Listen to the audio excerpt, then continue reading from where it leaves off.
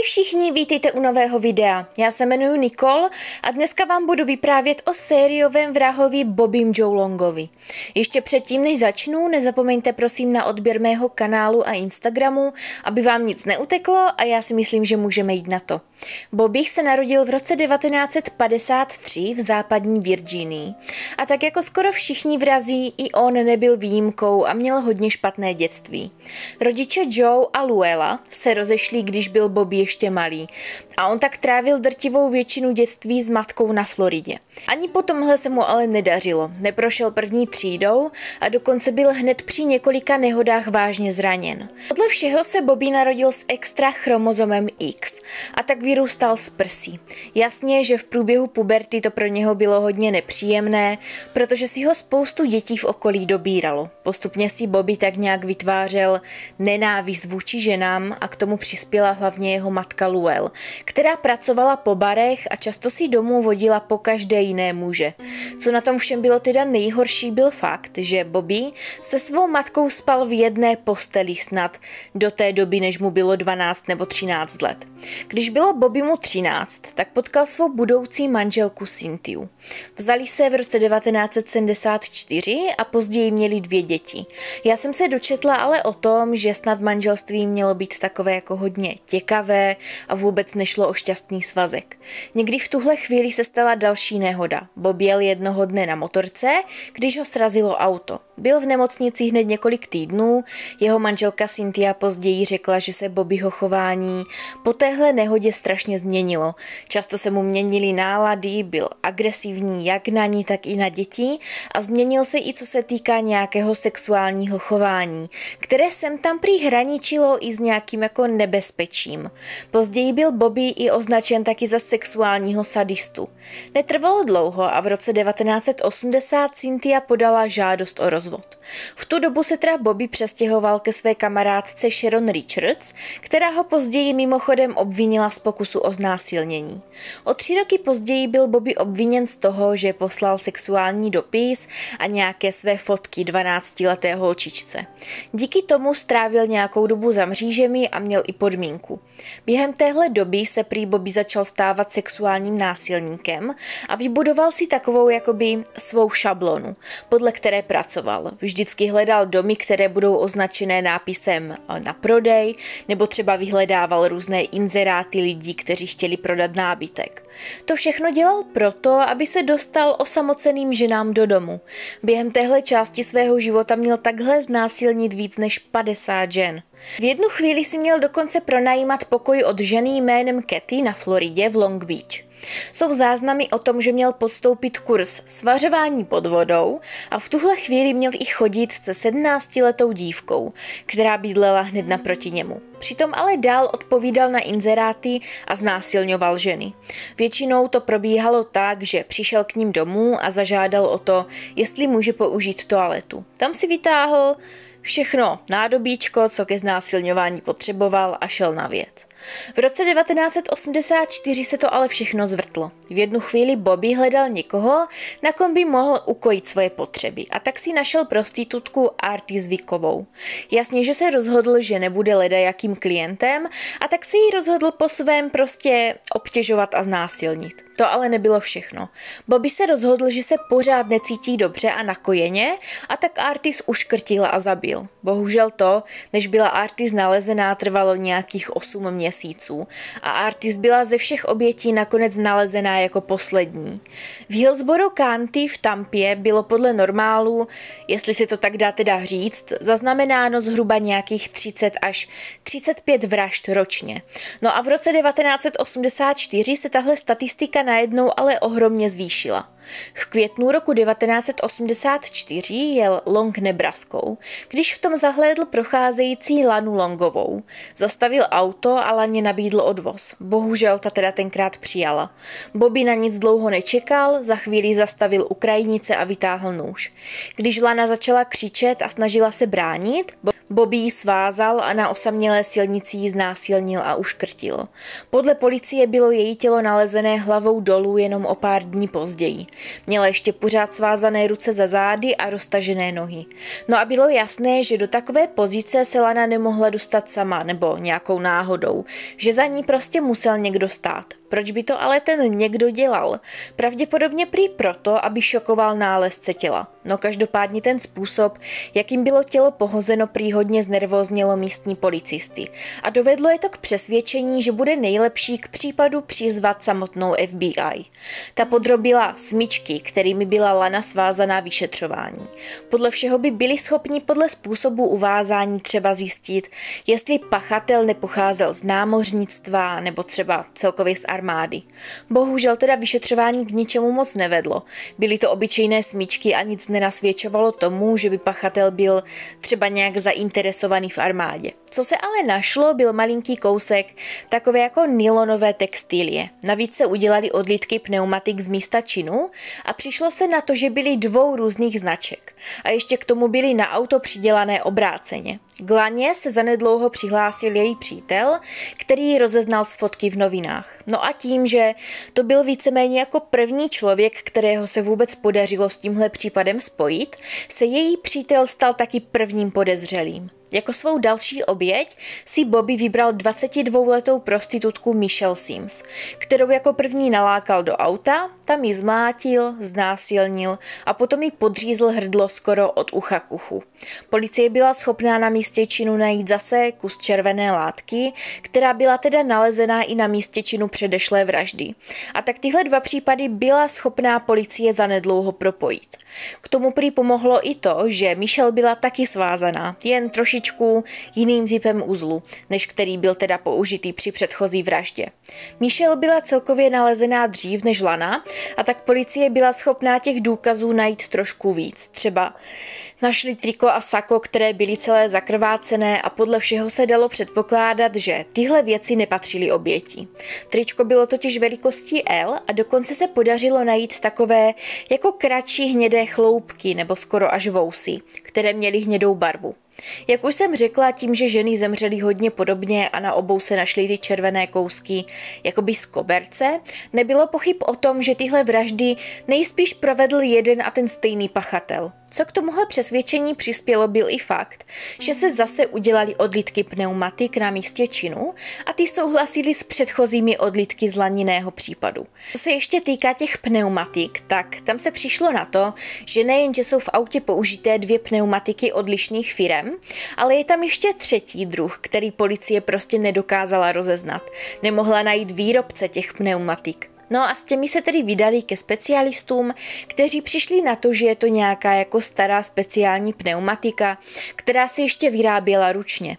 Jasně, že se jako první policie obrátila na toho přítele Lany, který byl podezřelý. Ten měl ale na čas druhé vraždy docela jako silné alibi a tak ho později policie kompletně vyškrtla ze seznamu podezřelých. Byl vypsán takový jako inzerát nebo popis hledaného člověka s tím, že má jít obělocha ve vyšším autě. Policie ale do papíru nezmínila ten popis pneumatik. Dostala totiž od FBI doporučení o tom, že by si popis vraha mohl všimnout právě pachatel a díky tomu vlastně pneumatiky změnit, díky čemuž by ho policie už nemusela dohledat. Jasně, že ty pneumatiky byly skoro to jediné, čeho se policie v tu chvíli mohla pořádně chytit a co by bylo dostatečně usvědčující. V tuhle chvíli policie našla další oběť, Elizabeth Loudenbeckovou, zhruba 17 dní po její smrti. Tělo už bylo docela dost rozložené a prý vážila nějakých 25 kilo i s oblečením. Každopádně ležela na zádech kompletně oblečená a dokonce nebyla spoutaná, takže policie chvíli ani nepředpokládala, že může být obětí toho stejného pachatele. Podle policie tahle oběť byla něčím jiná. Ona sama neměla brát drogy, nebyla prostitutkou ani striptérkou, byla to prostě normální úřednice, která v životě neprovedla žádný zločin. Zase se našel přítel Elizabeth, kterého vzali na detektor lží. On tím neprošel a tak se stal dalším podezřelým. Každopádně v tuhle chvíli se u Elizabeth zase našly ty červené chloupky a tak případ policie byla schopná zase propojit s předchozími případy a bylo jasné, že se jedná o sériového vráha. Pátá oběť byla zase prostitutka, zrovna propuštěná z vězení, Chanel Williamsová, která si procházela ulicemi Tampy, když u ní Bobby zastavil. Pokračoval tak jako obvykle, takže ji znásilnil. V tuhle chvíli se jí ale pokusil uškrtit. To se mu z nějakého důvodu jako nepodařilo a tak vytáhl zbraň a střelili do krku. Tohle policii přišlo divné, protože Chanel byla jako první afroameričanka a všechny předchozí oběti byly bílé. No a podle všeho sérioví vrazi moc často nedělají to, že by skákali z jedné rasy na druhou. Díky rozboru oblečení se ale zjistilo, že se doopravdy jedná o další oběť toho stejného vraha. Po Williamsové byly ještě dvě další vraždy, jejichž oběti zase zanedlouho policie byla schopná identifikovat jako Karen Disfriendovou a Kimberly Hobsovou. Karen ležela u jezera a našla ji skupina archeologů. Její tělo bylo svázané tepláky a zabalené v takové jako zlatavé látce. Zase tak jako obvykle měla svázané nohy a ruce. Byla znásilněná a uškrcená stejně jako její předchůdkyně. Tentokrát se jí ale podařilo docela rychle identifikovat díky tomu, že nebyla ještě moc rozložená a policie byla schopná odebrat otisky prstů. Vypadá to, že se Bobby vrátil ke své staré šabloně, protože zase Karen byla pašeračka a prostitutka. Měla za sebou kriminální minulost, stejně jako předchozí oběti. No a hádejte, co se nenašlo. Jo, zas ten červený kousek chlupu. Zhruba o dva týdny později byla nalezená Kimberly Hobsová. Teda, abych byla konkrétnější, tak bylo nalezené její mumifikované tělo. Bylo hodně rozložené s tím, že podle policie ležela v zemi zhruba přes měsíc. Tělo bylo i rozežrané zvířaty tak, že třeba už ani hlava nebyla u těla a tak dále. Co bylo na tomhle těle trošku jiné než na ostatních byl fakt, že tělo bylo celé nahé a nebylo svázané. Policie prý ale hned věděla, že zatím určitě stojí jeden a ten stejný pachatel. V listopadu pořád roku 1984 Bobby zahlédl kolem půl třetí ráno 17-letou Lizu McVeigh, jak jela na svém kole po Tampě. Rozhodl se, že přesně ona bude jeho další oběť a tak ji zatáhl do auta. Přitom na ní celou dobu mířil pistolí, donutil jí tam k orálnímu sexu a potom ji zatáhl do jeho bytu, kde ji opakovaně znásilňoval a dokonce ji nutil se s ním osprchovat. Tentokrát to ale bylo jiné. Bobby totiž nechal Lizu žít a nějakých 24 hodin s ní prostě zacházel tak, jako by byla jeho sexuální otrokyní. Potom ji ale pustil. Během tady těch 24 hodin Bobby sem tam usnul, zase ale tak strašně bála, že nepodnikla žádné kroky k útěku. Prý věděla, že i přesto, že Bobby odpočíval, ji hlídal a rozhodně by ji prostě utéct nenechal. No a jasně, že Liza byla schopná policii nasměrovat konečně na tu správnou stopu stopu a tak zanedlouho byli Bobby mu v patách. On ale samotný příběh Lizy není tak jenom tak a tak si myslím, že by stálo za to to tu trošičku víc rozvést. Liza měla stejně jako Bobby hodně těžké dětství. Její matka byla alkoholička a závislačka na drogách a tak Liza musela vyrůstat své babičky. Ani tam ale neutekla problémům, protože přítel babičky sexuálně obtěžoval. Tohle celé mělo probíhat zhruba od jejich 13 do 17 let a sama říká, že o tom celou dobu její babička věděla. Prý kolikrát u toho všeho dokonce stála a dívala se. Nikdy ale neudělala nic, aby znásilňování zabránila. 3. listopadu roku 1984 tenkrát 17-letá Liza dokončila svou šichtu v prodejně koblích, nasedla na kolo a jela domů. Z ničeho nic si ale všimla, že za ní jede auto, které řídí nějaký cizí muž. My teď už víme, že to byl Bobby Joe. Ten jí zhodil z kola a jak už jsem řekla, zatáhl jí do auta. Potom ji odvezl do svého bytu, kde zase, jak už tu bylo zmíněno, se k ní choval celý den jako k nějaké jeho sexuální otrokyni. I když Líza měla celou dobu zavázané oči, tak prý přes pásku byla schopná v jednu chvíli Bobbyho uvidět. A tak později policii byla schopná dát přesný popis jejího únosce. Později řekla, v jednu chvíli mi dal ruce na jeho obličej. Měl tam jízvy, menší knír, malé uši, krátké vlasy, byl čerstvě ostříhaný zdvíhaný a byl silnější, ale neměl nadváhu. Prostě to byl velký chlap. Asi se divíte, proč ji jako jedinou Bobby pustil. Líza prý věděla, že přežije jenom pokud se jí podaří utéct. A tak Bobby mu řekla, že je jedináček a potřebuje se postarat o svého hodně nemocného tátu. Ona sama si stojí za tím, že kvůli sexuálnímu zneužívání v minulosti byla schopná nějak s Bobby mluvit a vlastně se tak vymluvit z toho, aby ji zabil. Prý mu řekla, že je hodně nešťastná věc to, jak se potkali, ale že může být jeho přítelkyní. Podle ní s ním musela mluvit tím stylem, jako by mu bylo pět let. Řekla mu, že se o něho může postarat a nikdo se to nikdy nedozví. Takhle se vlastně Líza snažila dostat Bobimu čím dál tím víc jakoby do hlavy a to jí podle jejich slov pomohlo přežít. Pro jistotu, když dostala šanci, tak toho Liza využila a zanechala v Bobbyho bytě stopy všude, kde mohla. Takže třeba zanechala otisky prstů v jeho koupelně na umývadle, na zrcadle a dokonce i na závěsu od sprchy. Bobby tedy ráno udělal sendvič a řekl jí, že ji prostě odveze domů. Tady tenhle útok byl pro Lizu hodně velkou změnou v životě, protože jak už jsem řekla, tak ona do té doby neměla moc jako jednoduchý život. A říká, že se do té doby chtěla zabít, dokonce o tom přemýšlela tu noc. Hned jak ji ale Bobby pustil, si uvědomila, jak je vlastně život cený a že ho chce ve skutečnosti prožít naplno. Brala to jako svou druhou šanci na normální život. Co bylo ale snad to nejhorší byl fakt, že ze začátku Líze skoro nikdo její příběh nevěřil a policie jí tvrdila, že má v příběhu díry. O jejím příběhu byl teda dokonce natočený i film a ten se primárně teda zabývá tím, jak Líze spoustu lidí nevěřilo, že se jí doopravdy stalo to, co se jí stalo a že tenhle příběh vlastně svalovali jenom na to, že Líza si vyžaduje nějakou pozornost. No každopádně, když Bobby vezl Lízu domů kolem nějaké třetí hodiny raní, prý po cestě zastavil u bankomatu, aby si vybral nějaké peníze na benzín. Bobby s ní ale doopravdy dojel do blízkosti jejího domu, kde ji prostě vypustil. No a to, co se stalo, zanedlouho nahlásil na policii Lizy nevlastní táta. A Liza byla povolaná k výslechu. No a tady si policie vlastně všimla, že to, co popisuje, hodně sedí s předchozími případy, které teda neskončily v uvozovkách tak dobře. Potom, co ale Bobby pustil Lizu, stihl zabít ještě další dvě ženy. Virginiu Johnsonovou a Kim Svonovou.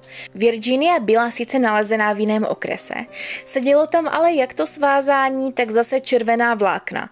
A tak byla zavolaná policie z původního okrsku s tím, že to pravděpodobně bude případ právě pro ně. Zase tělo prý bylo hodně rozložené a zbývaly už skoro jenom kosti a gumička na krku.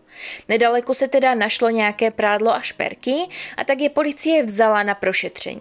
V tuhle chvíli se tedy přišlo na identitu slečny. Jak už jsem řekla, jednalo se o Virginiu Johnsonovou. No a v druhém okresu byla nalezená pravděpodobně proto, že sama mezi nimi často cestovala kvůli prostituci. No a jsme u poslední vraždy, u Kim Svonové. Když byla nalezená, byla kompletně nahá tváří k zemi, měla na sobě jenom podkolenky. Vypadalo to, že na místě činu došlo k většímu boji, protože Kim měla úplně zakrvácený obličej a po celém těle měla jakoby oděrky. Ty nasvědčovaly tomu, že byla kým svázaná, ale na místě činu se nenašlo žádné lano. Co se ale našlo, bylo Kimino oblečení, na kterém byla zase červená vlákna. Zjistilo se, že Kim byla exotická tanečnice a tím, že ležela u kraje silnice, všechno nasvědčovalo tomu, že tělo bylo vyhozené za jízdy v autě. Policie každopádně zkontrolovala výběry z bankomatů v okolí a tak byla schopná Bobbyho dohledat. Policie byla schopná vlastně zjistit, že ta červená tkanina, kterou našli u některých obětí, bylo vlastně polstrování Bobbyho auta. Teď už konečně měla policie něco, čeho by se mohla chytit a tak udělala obrovskou pátrací akci po autech s červeným interiérem. Lisa McVeigh si navíc pamatovala, že si v autě zvládla trošičku jako sundat pásku a viděla na palubní desce napsané Magnum, takže policie přesně i zjistila typ auta, který hledá. Tím se jim vlastně podle výpisu takových aut v okolí podařilo hledání zúžit jenom na nějakých 500 aut. No a když porovnali to, kde se jaká auta kdy pohybovala, s tím výpisem výběru z bankomatu, byli schopni najít koho jiného než Bobby Holonga. Policie jenom tak namátkou jedno auto stejného typu zastavila s tím, že hledají nějakého jako podezřelého zloupeže a on to byl zrovna Bobby. Ten s policií prý spolupracoval, ale byl tam jeden problém. Odmítl totiž, aby policie prohledala jeho auto. V té chvíli ale policie byla schopná zavolat posily, kteří se zařadili za Bobbyho auto. Chtěli ho totiž sledovat. Někdy průběžně s tímhle policie předvolala Lizu a ukázala jí několik fotek podezřelých, mezi kterými byl i Bobby. No a Liza nečekala ani minutu a hned ukázala právě na jeho fotku s tím, že to je ten, kdo jí znásilnil. Policie se rozhodla, že ho ale dál bude jenom tak sledovat a uvidí, co bude dělat. Nikdo neví, proč se tak stalo, možná Bobby něco vycítil, protože začal vyklízet svůj dům a uklízel svoje auto jako pomanutý. Zatím vždycky ale už čekala policie a kontrolovala všechno, co vyhodil. Potom si Bobby vyšel do kina a mezi tím, co byl vevnitř, se policie chtěla přece jenom ujistit, že budou zatýkat toho správného muže, že to doopravdy všechno udělal zrovna on. No a tak sedli pod jeho auto a proskoumali pneumatiky. Netrvalo dlouho a byli schopni zjistit, že všechno sedí, že i tady je jedna pneumatika, kterou nejsou schopni rozeznat. Nakonec byl 16. listopadu toho stejného roku Bobby konečně dopadený, když z toho kina vycházel. Policie vzala samozřejmě jeho auto na rozbor, hlavně je zajímalo to červené polstrování a koberečky. Mezitím Bobby byl na výslechu a hned se přiznal ke znásilnění Lizzy McVeighové. Policie ještě ale potřebovala přiznání k těm všem vraždám, které Bobby ze začátku popíral. V tuhle chvíli policii ale volali kvůli rozborům koberečků, s tím, že všechno sedí, že Bobby je teda doopravdy ten pachatel, který se celou dobu hledal. Policie tedy to, na co se přišlo, řekla Bobbymu. No a tomu už nezbývalo nic jiného, než se vlastně k tomu všemu konečně přiznat. Byl dokonce schopný každou vraždu zvlášť v průběhu zhruba pěti hodin popsat do detailu. Prý kompletně bez emocí, jako by se vlastně vůbec nic nestalo. Policie se ho samozřejmě zeptala, proč to celé udělal. No a Robert odpověděl jenom to, že je to jeho tajemství, které nikdy nikomu neřekne. Policie se dostala i k Bobimu domů, kde mimochodem našla takové jako fotoalbum s nahými fotkami různých žen, mezi kterými byli schopni najít i fotky a šperky obětí. Když byl ve vězení, tak se řešil, co se týká ještě jedné vraždy, dívky Vicky Eliotové. O rok později, tedy v roce 1985, byl Bobby usvědčený z vraždy prvního stupně v případu Virginie Johnsonové a dostal trest smrti. O rok později se Bobby přiznal k dalším osmi vraždám a tak samozřejmě dostal další tresty. Nakonec měl skončit s šesti doživotními tresty a zhruba 600 lety vězení. V létě roku 1986 bylo rozhodnuto, že ten trest smrti, který dostal, bude konkrétně smrt na elektrickém křesle. A vykonání trestu eh, bylo v roce 2019 a u toho byla teda i samotná Lisa McVeigh, která dokonce seděla hned v první řadě. Nechala se slyšet, že chtěla být prvním člověkem, který to celé uvidí.